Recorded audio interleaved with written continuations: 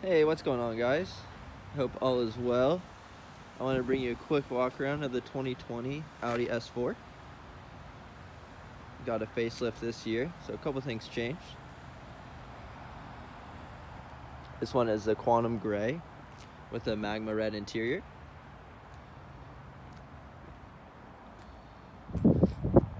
Black optic gives you that nice blacked out front end, the honeycomb grille,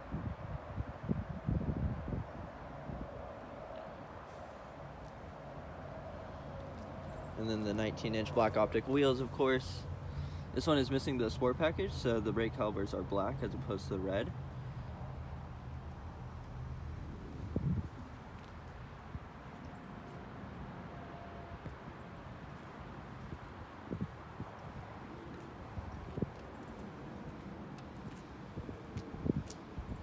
Give you a good look of the rear end here.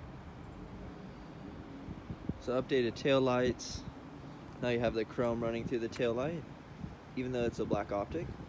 Kind of wish that they carry through the black middle piece through the uh, tail lights, but it's alright. I'm sure a lot of people are going to tint that.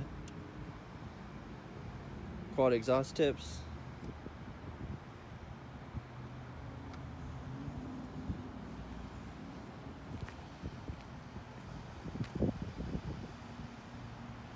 I love this color. It's a hot color right now with all the brands. Open up the trunk here for you.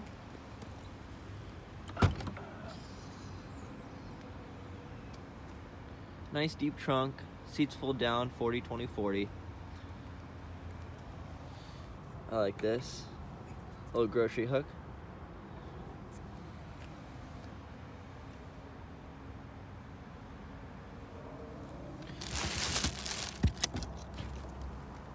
Spare tire underneath. This is kind of a cool feature too. So this little hook goes here, clip onto there. So when you're getting the spare tire out or working back here, it's out of your way. Kind of cool. All right, trunk is manual.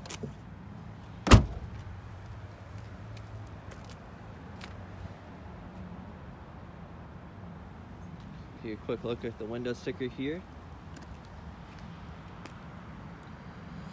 So 2020 S4, quantum gray with that magma red interior, premium plus, black optic, gives you those nice 19 inch wheels, and then a summer tire as well. And then fine Nappa leather seats with the carbon inlays. So this one's 56.3. Um, something to note here is that if you want the navigation, you do have to opt for that as a, a package now. So with the 2019s, if you got a premium plus, you'd have navigation by default. Um, so something to keep in mind if you're ordering one. Gas mileage here, 20 city, 27 highway, and then 23 average. And then the parts content breakdown. I know a lot of people ask me about that.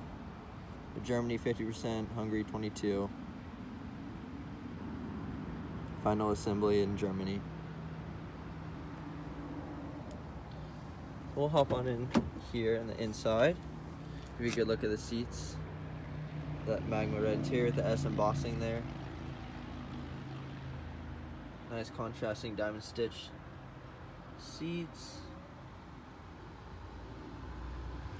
Thigh extension here. But nice heavily bolstered. Not too aggressive, but I feel like it suits the vehicle.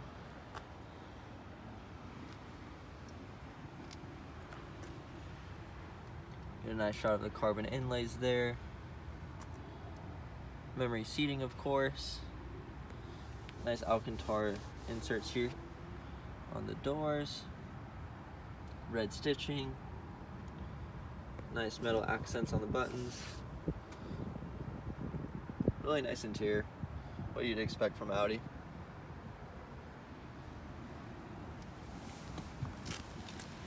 This one is missing the optional Bang & Olufsen sound system, but that is available. So we have a little updated setup here. Uh, I believe they call this like the hockey stick uh, setup. Kind of looks like a hockey stick.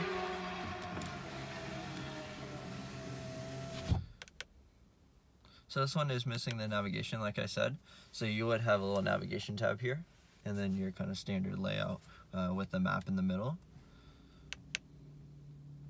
Media, and then all these you have the, the view button here so you can change the layout. Vehicle settings here, date and time at the top, if you want kind of a minimalistic setup here. And you're also missing uh, the fuel on the sides. It used to be kind of in here, uh, fuel and temperature, but now it's all in the virtual cockpit.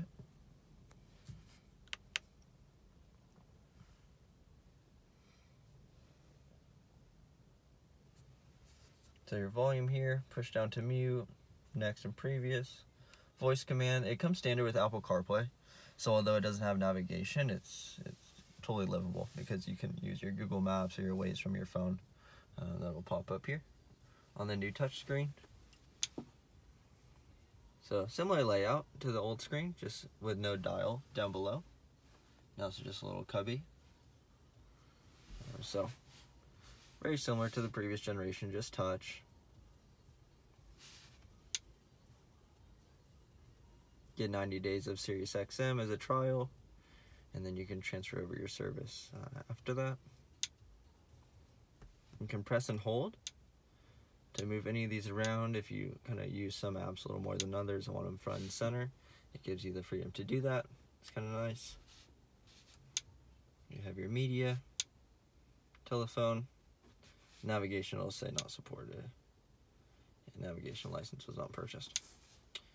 Uh, down below that, you have climate controls. So temperature on the side here, and then these are just toggle switches. And then all touch sensitive as well. You'll see they can highlight as you drag your finger over. Heated seats are standard. Uh, defroster here, circulation, where you want the air. Pretty intuitive, nothing crazy going on there. Your drive select, so your different drive modes. So comfort's like Audi's Eco mode. Automatic will switch for you depending on how you're driving. Dynamic is Audi Sport mode. And individual, you can kind of go in and tailor a couple of the settings yourself. Drive, steering, engine sound. That's nice. So your drive select, your auto start stop if you don't like that feature, you can turn that off. I know a lot of people ask me that. Uh, traction control off, parking sensors, it'll automatically come up when you go in reverse. But let's say you want to see the front sensors when you're uh, pulling close to a wall or something, you can bring that up manually. And then last button down here, you can turn off the screen.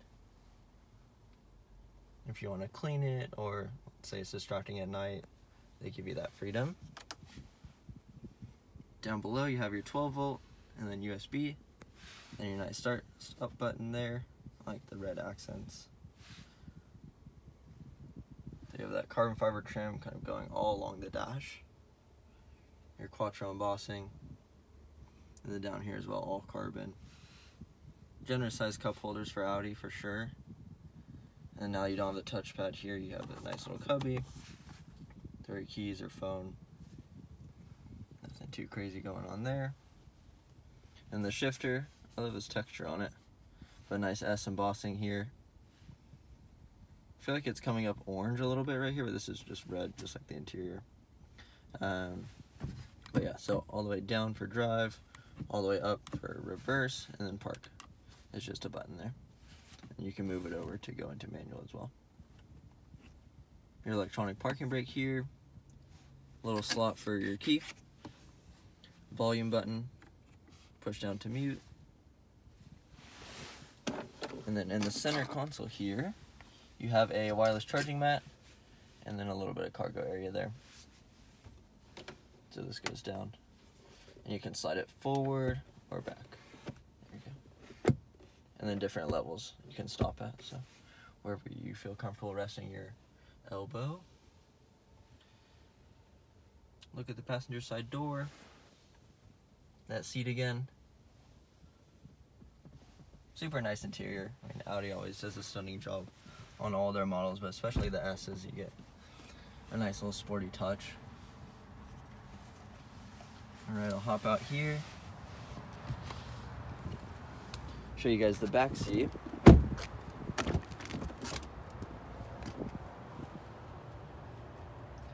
So red interior obviously carries over.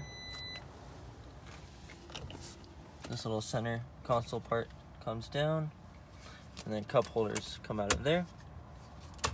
And then you have a nice little cubby in here.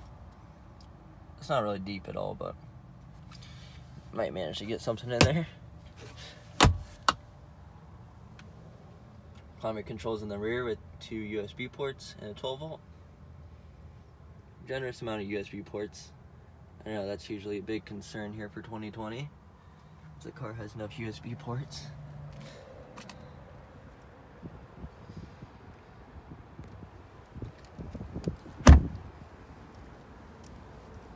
Right.